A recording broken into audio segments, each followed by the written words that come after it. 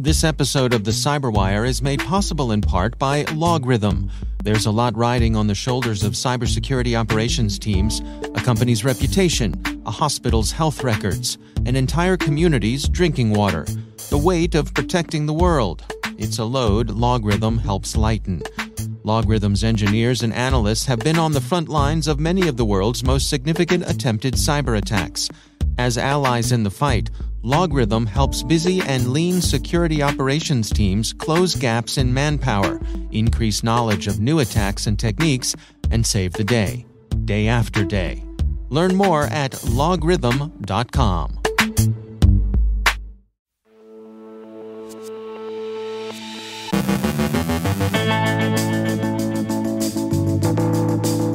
The UN condemns Russia's war in Ukraine. Ukraine's cyber volunteers may be targeting Russian infrastructure. Belarusian cyber operators are phishing with stolen Ukrainian credentials. Task Force KleptoCapture. Infusion pumps are found vulnerable to cyber attack. TeaBot is found in the Play Store. TCP Middlebox Reflection. Daniel Prince from Lancaster University on trustworthy autonomous systems. Our guest is John Shegerian from ERI on the security angle of e recycling. And no more Harleys for Mr. Putin.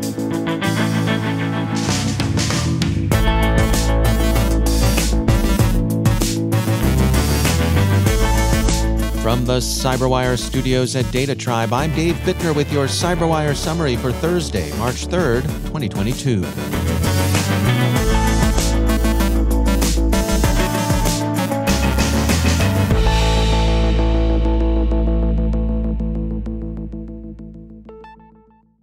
Russian forces have intensified their conventional and, in practice, indiscriminate bombardments of Ukrainian cities. The Black Sea port of Kherson has fallen, the first Ukrainian city of any size to be taken by Russian forces, but the assault on Kiev remains more stalled than ever, the BBC reports. The UK's Ministry of Defence, in its daily public appreciation of the situation, says the Russian column advancing on Kiev has made little discernible progress in over three days. The MOD puts this down to Ukrainian resistance, but also to congestion and mechanical breakdown. The UN General Assembly voted yesterday to condemn Russia's invasion of Ukraine. In its official statement, the UN wrote, quote, deploring in the strongest terms its aggression against Ukraine in violation of the Charter of the United Nations the Assembly also demanded the Russian Federation immediately and unconditionally reverse its 21 February decision related to the status of certain areas of the Donetsk and Luhansk regions of Ukraine. Thus, not only the invasion itself was condemned, but so was the Russian recognition of the independence of the regions it styles the People's Republics of Donetsk and Luhansk. The resolution of condemnation had been introduced by Ukraine. The vote was 141 in favor of the resolution to 5 opposed, with 35 abstentions. The UN called the vote a clear reaffirmation of the 193 member world body's commitment to Ukraine's sovereignty, independence, unity, and territorial integrity. The list of countries who voted nay is instructive Belarus, North Korea, Eritrea, Syria, and of course, Russia. Ukraine's Ministry of Defense has recruited private operators to help wage a cyber war against Russia. That recruitment isn't principally designed to provoke a cyber rave or cyber riot on that part of outraged sympathizers freelancing as volunteer militia, although that's also happened, certainly in the case of website defacements and service interruptions conducted by Anonymous and others. There are reports that the ministry has asked a local cybersecurity expert and businessman, Yegor Aushev, to organize a cyber offensive that would go beyond DDoS and defacement and seek to cripple Russian infrastructure, with particular attention to railroads and the power grid. Ukrainian officials declined a request for comment by Reuters. The hacktivists continue to claim that they're counting coup against Russia, and some of their efforts may, and we stress, may, go beyond vandalism and nuisance hacks. Homeland Security Today reports that Anonymous is crowing high over an effort directed against Russian space surveillance and reconnaissance systems, quoting the anonymous affiliated group NB65 as follows quote, The Russian space agency sure does love their satellite imaging, they posted Tuesday morning.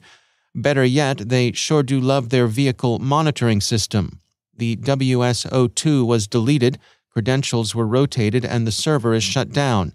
Network Battalion isn't going to give you the IP. That would be too easy, now wouldn't it? Have a nice Monday fixing your spying tech. Glory to Ukraine. We won't stop until you stop dropping bombs, killing civilians, and trying to invade. Go the F back to Russia. Russia's cyber operations against Ukraine may be continuing to take advantage of services offered in the criminal to criminal market. Zscaler describes the way in which the malware as a service platform DanaBot is being used to run a distributed denial of service attack against the Ukrainian Ministry of Defense. Zscaler's research report stops short of attribution. Quote, it is unclear whether this is an act of individual hacktivism, state sponsored, or possibly a false flag operation. End quote. Proofpoint has published a report on a phishing campaign it's calling Asylum Ambuscade, in which it links to UNC 1151, which Proofpoint associates with the Belarusian threat actor it tracks as TA 445. That group is most familiar in its ghostwriter guise in which throughout 2021 it mounted influence campaigns against European targets, especially in Latvia, Lithuania, and Poland. Proofpoint summarizes its key takeaways as follows quote, Proofpoint has identified a likely nation state sponsored phishing campaign using a possible compromised Ukrainian armed service member's email account to target European government personnel involved in managing the logistics of refugees fleeing Ukraine. The email included a malicious macro attachment which attempted to download a malware dubbed Sunseed. The infection chain used in this campaign bears significant similarities to a historic campaign Proofpoint observed in July 2021, making it likely the same threat actor is behind both clusters of activity. Proofpoint is releasing this report in an effort to balance accuracy with responsibility to disclose actionable intelligence during a time of high tempo conflict. Asylum Ambuscade represents an intelligence collection effort. It shows signs of being particularly interested in the movement of refugees around and out of Ukraine, and is, the record reports, paying particular attention to targeting European officials involved in refugee relief. The U.S. Department of Justice has formed an interagency task force, KleptoCapture, designed to investigate and prosecute white collar crime with special attention to finding and denying the assets of Russian oligarchs, the Wall Street Journal reports. It has two objectives sanctions enforcement, which will include educating companies who trade with Russia on the sanctions scope and implications, and tracking down illicit assets, especially those useful in money laundering, with special attention to cryptocurrency holdings and transactions. Recent U.S. enforcement actions against domestic money laundering operations, notably the indictment of Razzlekhan and her consort, have shown that cryptocurrency wallets and transactions are not immune to tracking and confiscation. EU and U.S. policy toward Russia's oligarchs is now decidedly punitive, according to the Washington Post. The article's deck summarizes, quote, Western allies plan to confiscate yachts, jets, luxury apartments from Russian elites in hopes of undercutting Moscow over invasion. Punishing the oligarchs was one of the talking points in U.S. President Biden's State of the Union speech this week. Quote, Tonight I say the Russian oligarchs and the corrupt leaders who built billions off this violent regime no more, he said. We're coming for your ill begotten gains. Task Force KleptoCapture represents an early step in that approach. Not all the scary news is from Eastern Europe, even in these dark days of war. Palo Alto Network's Unit 42 has published a report on vulnerabilities affecting medical infusion pumps, analyzing more than 200,000 pumps from seven different vendors. The research identified, quote, over 40 different vulnerabilities and over 70 different security alerts among the devices with one or more affecting 75% of the infusion pump devices we analyzed. More than half of the vulnerable pumps were affected by CVE 2019 12255, a buffer overflow vulnerability with a severity score of 9.8. Researchers at Cleafy warn that the TeaBot Android banking Trojan has been distributed via the Google Play Store. The researchers stated, quote, on February 21, 2022, the Cleafy Threat Intelligence and Incident Response Team was able to discover an application published on the official Google Play Store, which was acting as a dropper application delivering TeaBot with a fake update procedure. The dropper lies behind a common QR code and barcode scanner, and at the time of writing, it has been downloaded over 10,000 times. All the reviews display the app as legitimate and well functioning. Once downloaded, the malware will request accessibility services permissions in order to view and control the screen and perform actions on the phone. Akamai researchers have recently observed DDoS attacks using a new technique called TCP middle box reflection to amplify the amount of traffic they can send. The researchers explain, quote, this type of attack dangerously lowers the bar for DDoS attacks, as the attacker needs as little as 175th the amount of bandwidth from a volumetric standpoint. And finally, back to Russia for some economic and cultural news. Western companies continue to exit the Russian market as the country's financial system reels on the verge of collapse. The AP reports that Russia has become a commercial pariah as the rest of the world increasingly refuses to do business there.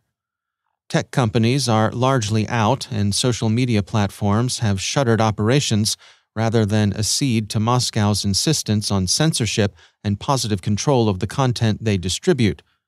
One interesting business departure is that of Harley Davidson. President Putin has been famously devoted to his hog, which he rides helmetless, like he's some kind of a centerfold, an outlaw biker, or iron horse.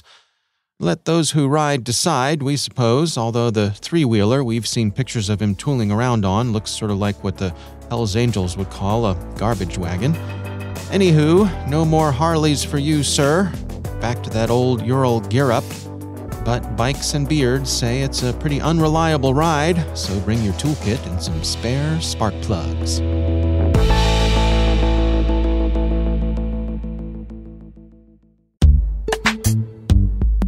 And now, a word from our sponsor, Dragos.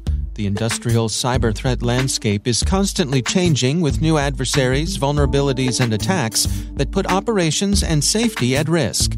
Asset owners and operators need proactive, actionable information with defensive recommendations to combat the world's most significant industrial cybersecurity adversaries.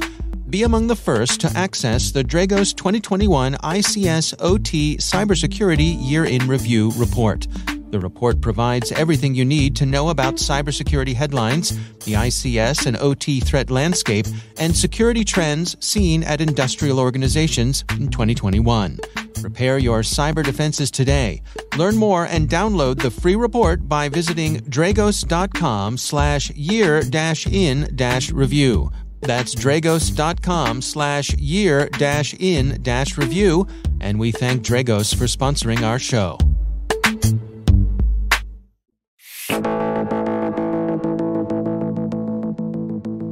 Most of us who've been in the industry for a while have a story or two about some old forgotten piece of equipment that, through benign neglect, ends up being improperly disposed of.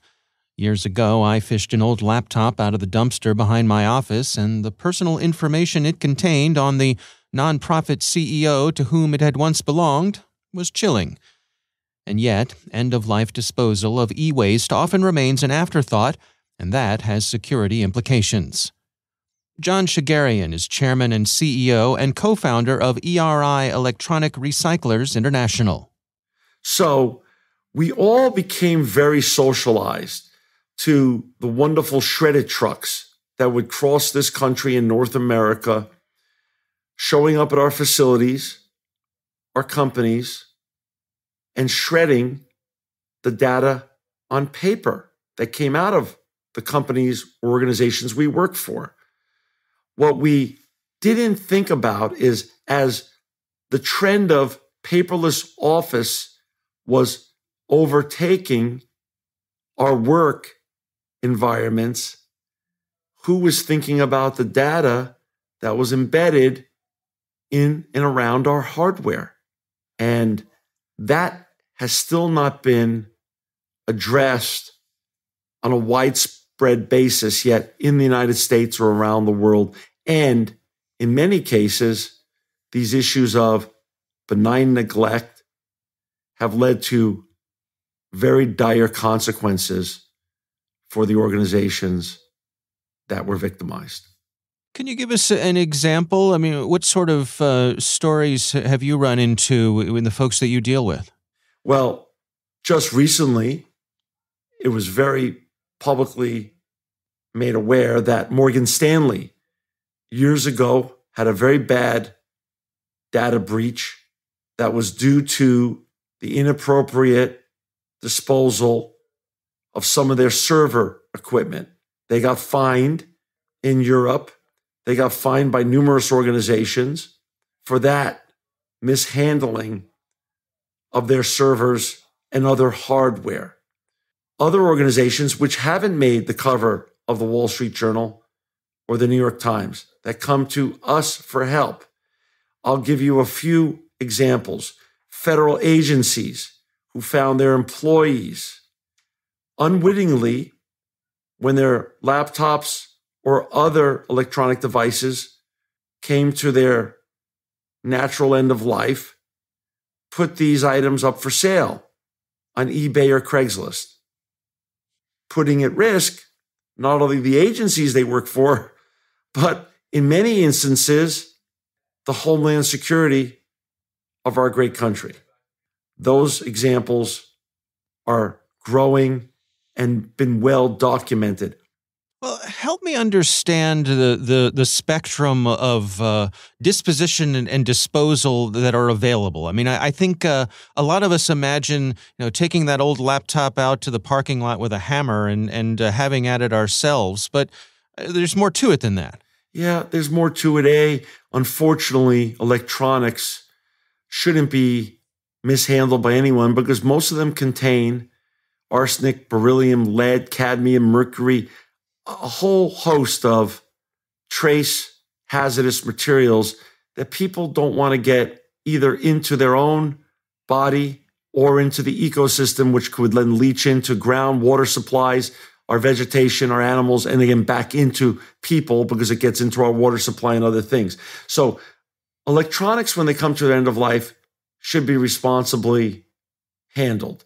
Now, whether that means wiped, retested, and resold appropriately wiped or fully destroyed is based on the organization or the level of risk that that person is engaged with.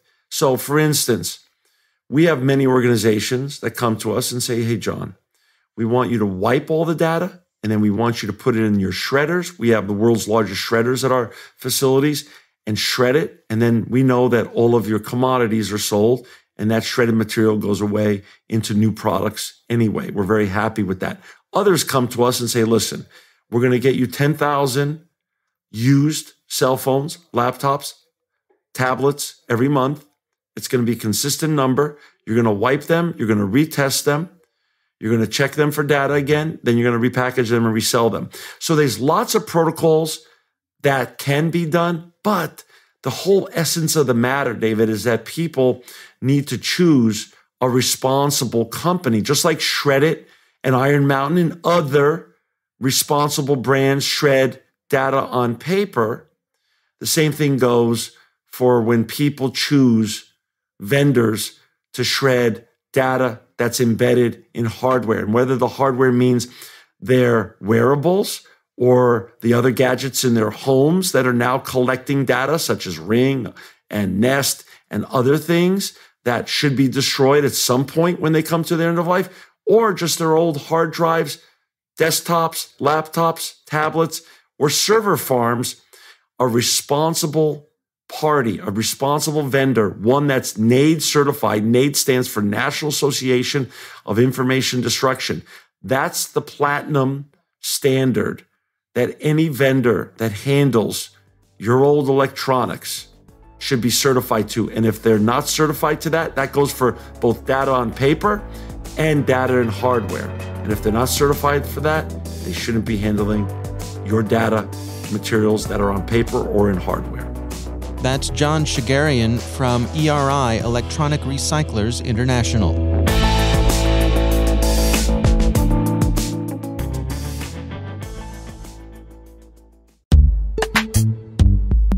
And now, a word from our sponsor, SpyCloud.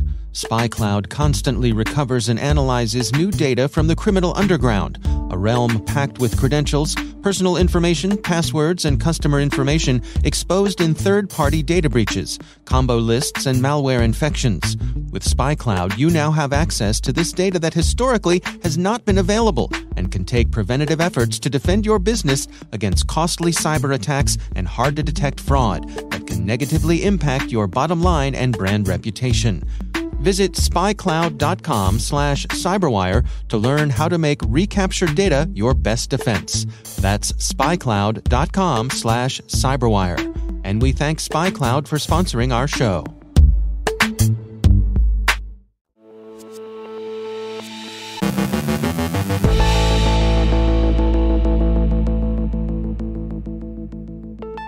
And I'm pleased to be joined once again by Daniel Prince. He's a senior lecturer in security and protection science at Lancaster University. Uh, Daniel, always great to welcome you back to the show. Uh, I know a topic that you have been working on there at Lancaster is this notion of trustworthy autonomous systems uh, and complexity in the network stack. Can you share with us uh, what sort of things uh, are you all working on there? So I'm part of a project here funded by the EPSRC that's looking specifically at trustworthy autonomous systems. It's one of a, a, a number of projects that are, are, research nodes within the UK. And the part of work, the work that I'm looking at is really the role of the network stack within these autonomous systems and, and how the network stack, so IP communications uh, and, and so on, um, form part of this autonomous system and work toward the work towards the trustworthy nature of of that autonomous system. Specifically, obviously, the network stack is the way that the autonomous systems communicate with each other. And so, if we can disrupt the, the, the way they communicate, can we also understand how that affects their decision making capability and their trustworthiness as, a, as an autonomous system? And one of the things that we're looking at and trying to understand is that if you know, at the operational plane, at the higher levels, you've got things like AI and machine learning making decisions for the for the autonomy of the, the overall system. Say, for example, a you know a swarm of drones or or a fleet of self driving cars. What are what are the aspects of the network stack that actually go into influencing the decision making uh, elements of uh, the machine learning or, or the autonomous system?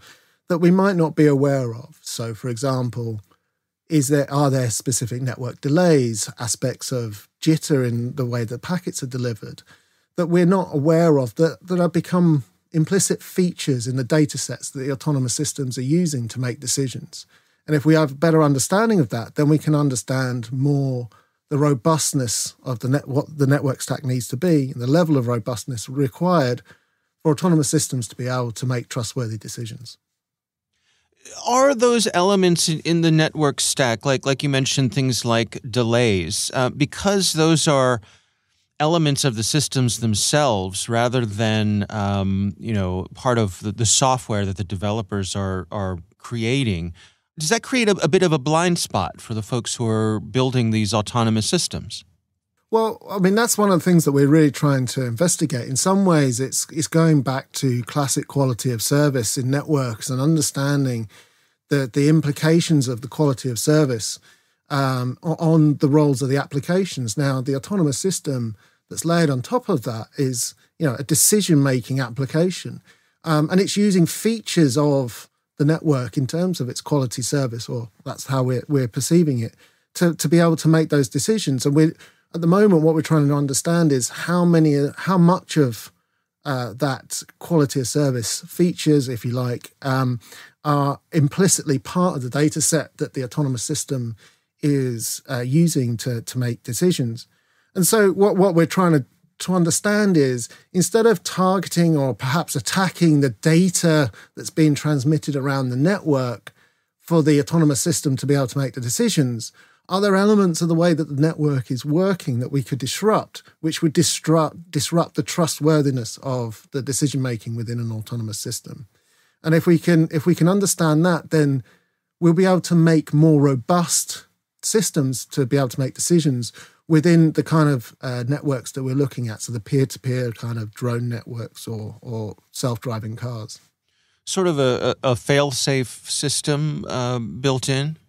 Yeah. So one of the yeah. So one one of the things, if we know that the limits of the the autonomous system are within these, say, for example, quality of service parameters, then what we can say is that if if those parameters are, are, are breached, you know, the composition of, uh, that network is breached beyond the safe operating parameters of the uh, of the autonomous system, then then we can put in these fail safes as you as you say, so that the so that again, you know, the operators will have trust in the system that it can be used in, in a safe way um, without you know and respond to the any potential disruption that, that might occur either accidentally because of the operating environment or maliciously if there is an attacker that goes after the, you know, the, the, the, fleet of drones um, delivering uh, your parcels or shopping. Mm-hmm. Mm-hmm. All right. Well, interesting stuff for sure. Daniel Prince, thanks for joining us.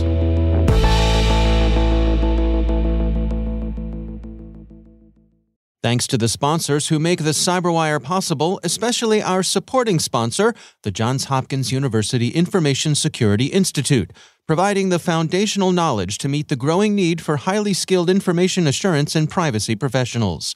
Stay tuned to hear about the Institute's world class master's degree program in cybersecurity.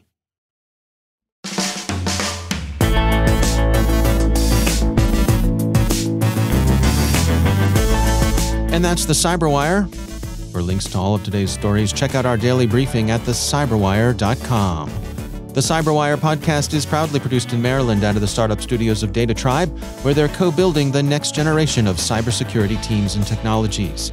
Our amazing Cyberwire team is Elliot Peltzman, Trey Hester, Brandon Karpf, Eliana White, Puru Prakash, Justin Sabie, Tim Nodar, Joe Carrigan, Carole Theriault, Ben Yelin, Nick Veliky, Gina Johnson, Bennett Moe, Chris Russell, John Petrick, Jennifer Eiben, Rick Howard, Peter Kilpe, and I'm Dave Bittner. Thanks for listening. We'll see you back here tomorrow.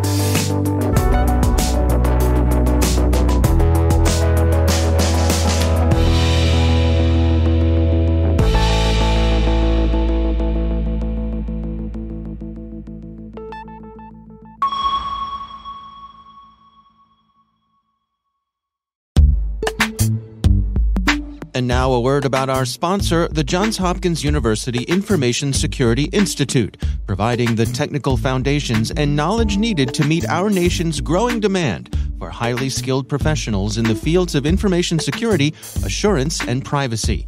We value their expertise and insights as one of the CyberWire's academic partners. And of course, they're one of the world's great research universities. The Institute is also an NSA and DHS designated Center of Academic Excellence in Information Assurance in Cyber Defense Education and Research. It's not too late to apply for the Institute's world class master's degree program in cybersecurity, since the application deadline has been extended and financial aid is available. Visit isi.jhu.edu to learn more. And we thank the Johns Hopkins University Information Security Institute for sponsoring our show.